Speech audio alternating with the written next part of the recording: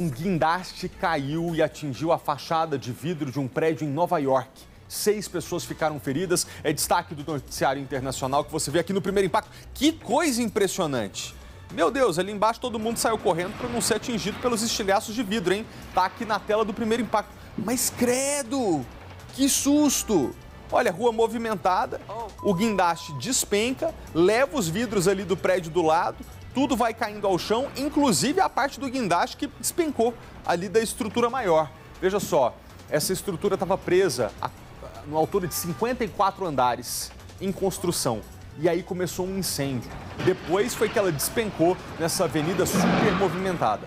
Muitas pessoas passavam no momento e houve correria.